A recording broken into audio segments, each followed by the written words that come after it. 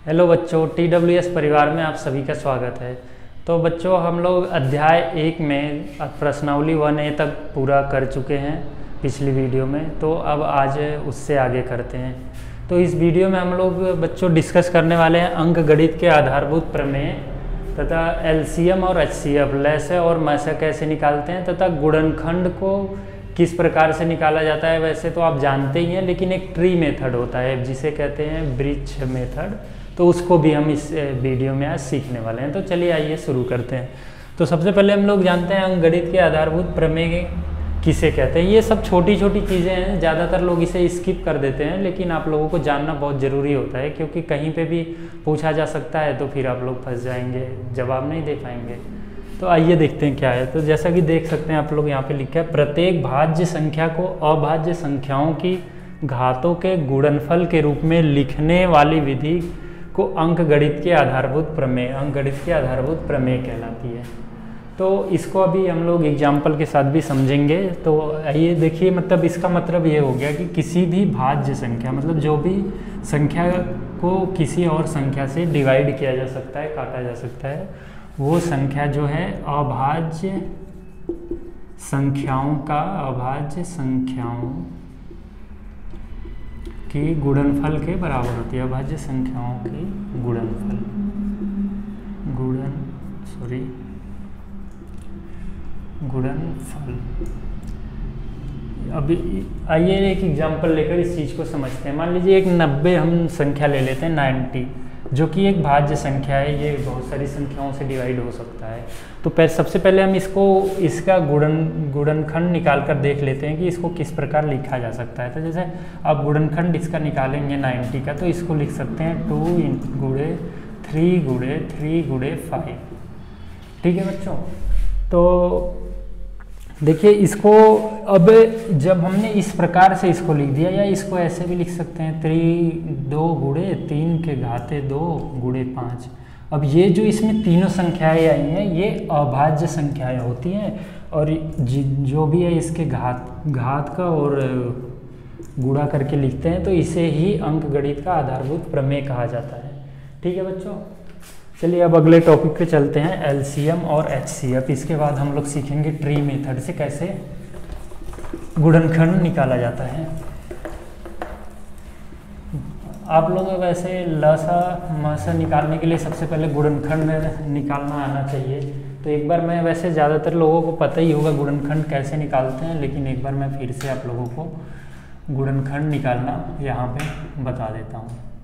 LCM और H C F LCM को कहते हैं बच्चों लस लस और मास मास लसा का मतलब होता है लघुत्तम समापवर्त और मसा का मतलब होता है महत्तम समापवर्त एलसीएम एलसीएम का इसका फुल फॉर्म भी आप लोगों को बता देता हूँ। ये lowest common factor and highest common factor आइए अब इस चीज़ को कैसे निकाला जाता है, इसको एक एग्ज़ाम्पल के थ्रू हम लोग समझते हैं।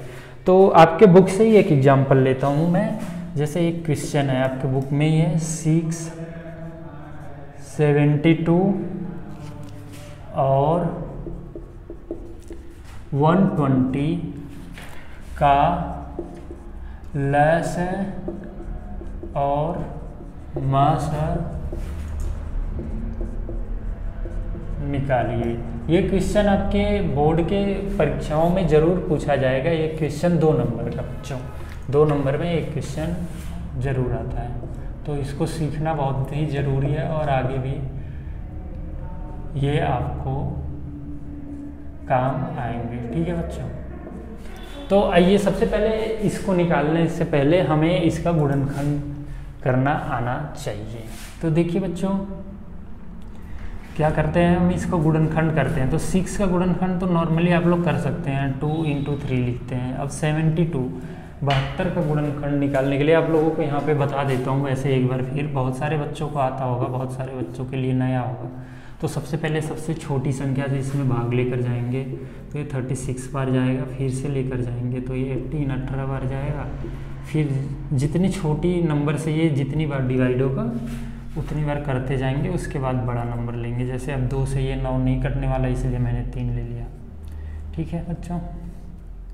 ये देखिए, अब एक आ गया तो ये हो गया सेवेंटी टू का गुणनखंड यानी कि दो दो गुड़े दो दो इसमें देखिए तीन बार आया है, और तीन जो है, दो बार है। या इसको इस प्रकार से भी आप लिख सकते हैं तो थोड़ा छोटा हो जाएगा। दो के घाता तीन गुड़े तीन की पावर में दो।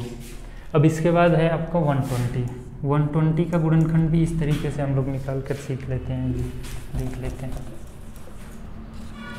तो 120 है। 120 में इसमें भी पहले दो से ही लेकर जाना शुरू करते हैं तो ये 60 आ जाएगा यहाँ पे, फिर दो से लेकर जाएँगे 30 फिर दो से लेकर जाएँगे 15 फिर तीन से जाएगा, क्योंकि अब दो से तो नहीं जाने वाला है, फिर पाँच से। ठीक है बच्चों? देखिए 120 का आपका गुणनखंड आ गया, दो गुड़ा दो गुड़ा दो गुड़ा तीन गुड़ा पाँच। अब इसको थोड़ा सा छोटा लिखने के लिए ऐसे भी लिख सकते हैं, दो की गाते तीन और गुड़े तीन गुड़े पाँच। अब हम लोग एलसीएम और एस निकालेंगे तो अभी हमें छः, बहत्तर और 120 का अगर लस निकालना होगा लेस है तो क्या लिखेंगे बच्चों? ये देखिए, अब इसमें देखिए दो सब में कॉमन है, ठीक है? तो इसमें जो सबसे बड़ा घात वाला जिसमें दो होगा ना, उसी को यहाँ पे हम लोग लिख देंगे। जैसे देखिए, दो की घाता तीन इसमें भी है, दो की घाते तीन इसमें दो केवल एक इसमें है लेकिन सबसे ज़्यादा इसमें इन दोनों में दो है तो कोई दिक्कत नहीं है। दो को जो सबसे बड़ी घात वाला होगा या जिसमें सबसे ज़्यादा बार आया होगा, उस चीज़ को लिख देंगे। अब ऐसे ही तीन में करेंगे, देखिए यहाँ तीन दो बार आया है तो इस चीज़ को यहाँ पे लिखेंगे और बाकी बाकी में एक एक बार है तो यहाँ पे लिख देंगे। ठीक है बच्चों, फिर यहाँ पे देखिए और जो भी बचा हुआ है उसको लिख देंगे। दो हो गया, तीन तो हमने लिख दिया, बस ये पाँच बचे तो पाँच को भी यहाँ पे लिख देंगे। ठीक है? अब इसको जब आप लोग गुड़ा करेंगे तो आपका आ जाएगा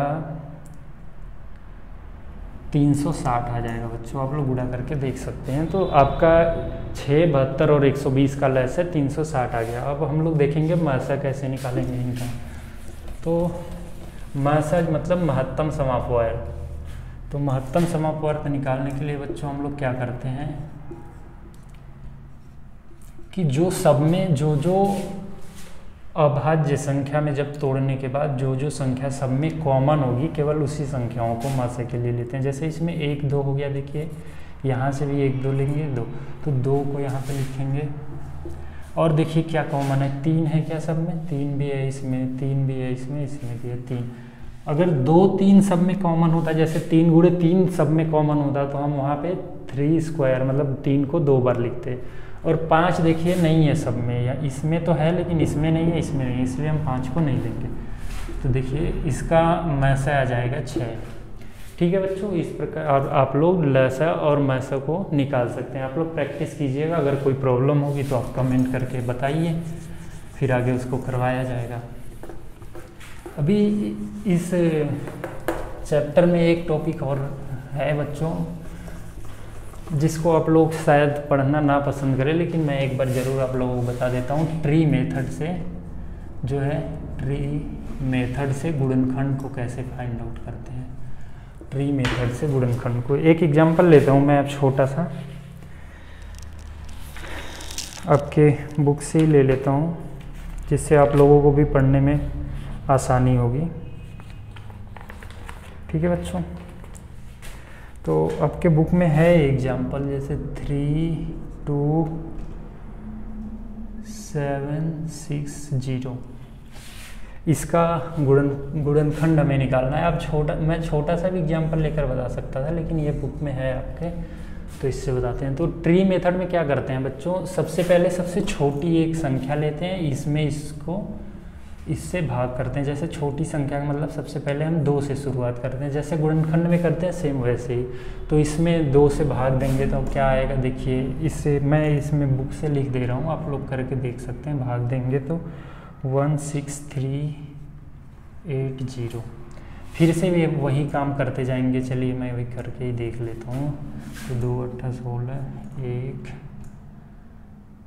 सॉरी ठीक है। ऐसे करते जाएँगे जब तक दो से जाता रहेगा, तब तक करते जाएँगे। ठीक है, मैं देख कर जल्दी लिख देता हूँ, नहीं तो टाइम ज़्यादा लगेगा बच्चों। फिर ऐसे करते जाएँगे। अभी मैं इसको आपको अच्छे से और समझा देता हूँ।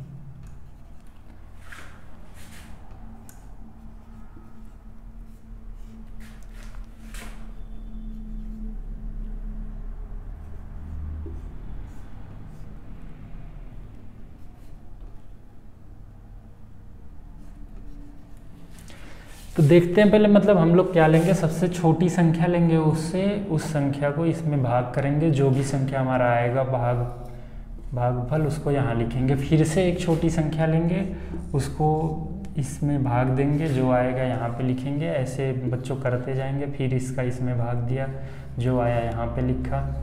फिर इसका भाग इसमें दिया, जो आया यहाँ पे लिखा। फिर इसका इसमें भाग दिया, क्योंकि अभी ये दो से डिवाइड नहीं होगा तो हम लोग तीन से डिवाइड करेंगे। अगर तीन से नहीं होता तो चार से करते, पाँच से करते, ऐसे करके जिस नंबर से होता है वो यहाँ पे लिखें। फिर इसके बाद ऐसे, फिर ये तीन से भी नहीं हो रहा था, इसलिए हमें पाँच लेना पड़ा। ठीक है, फिर पाँच के बाद ये सेवन अब हम लोग क्या करेंगे कि ये जो आया है इतना,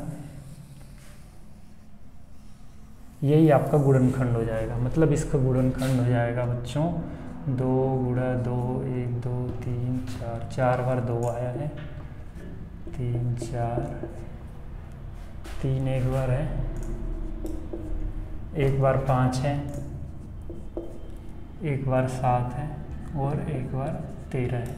इस प्रकार से आप ट्री मेथड से गुणनखंड निकाल सकते हैं। इस मेथड का यूज़ तभी करना है बच्चों, जब एग्ज़ाम में आपसे स्पेशली बोला जाए। कि आप ट्री मेथड से गुणनखंड निकाल कर हमें दिखाइए, तभी इस मेथड का प्रयोग करना है, नहीं तो गुणनखंड निकालने की और विधि आप लोग जानते ही हैं। तो आप लोग इतने से प्रश्नावली वन बी के सारे क्वेश्चन हल हो जाएँगे। आप लोग क्वेश्चन हल करिएगा, जो भी दिक्कत होगी आप लोग कमेंट बॉक्स में हमें बताइएगा। अगर हमारी वीडियो अच्छी लग रही हो तो उसे अपने दोस्तों के पास भी शेयर कीजिए। थैंक यू दोस्तों।